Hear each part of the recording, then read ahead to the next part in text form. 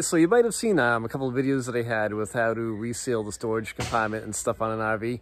So I had a little bit of an issue with the uh, storage compartment in my RV. I was getting some water in there and man, it was a pain to figure out where the heck the leak was coming from. I tried a whole bunch of different things and um, I'll walk you through a couple of things I tried and uh, what works for me as far as keeping the water out of the storage compartment.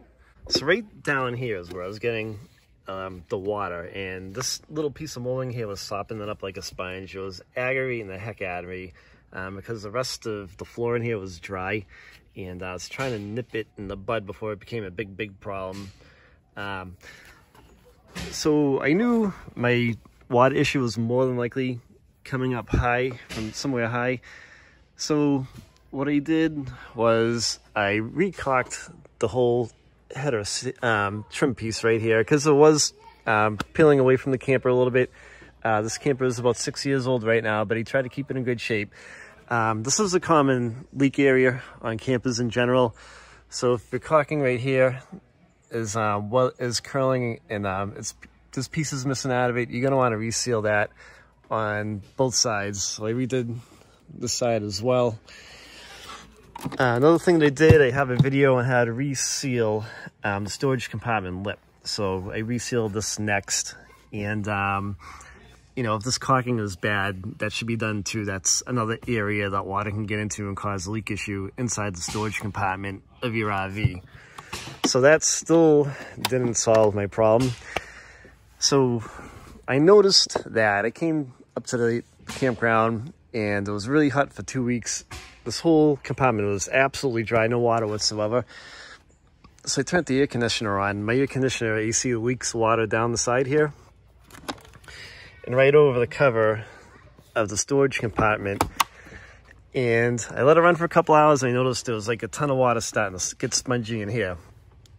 So what I did was, when it was dark out, I took the um, flashlight of my cell phone and I inspected the old weather strip seal right here and I noticed at the top that the water was actually dripping between this metal flange right there and the old gasket. So it was coming between the gasket, which you don't want to have happen. It was dripping down inside. So what I did was I have a half an inch lip at the bottom right here. And there was an automotive type seal on here uh, from the Heartland factory. So this seal I bought at O'Reilly's in the auto body section. It's a half an inch and it has a 3M backing on it, so it's self-sticking, it's adhesive.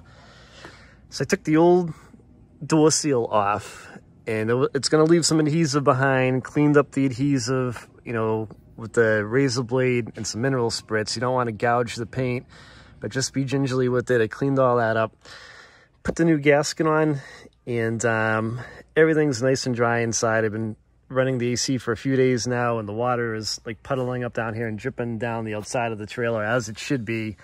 And uh, it's no longer going inside and finding its way. So that's another couple of things you can try out if you have a leak inside your storage compartment. The, the door seal worked for me. Um, that fixed my leaking issue inside that compartment these leaky issues can be a huge pain in the sense that you're not always at your RV typically. So by the time you get to troubleshoot it again, you know, weeks can go by and uh, it's more time for a lot of the cloud's damage. So I hope this video helps you guys out. Um, if you have any questions, leave a comment. I will reply back to you. And don't forget to subscribe to the channel. Thanks for watching.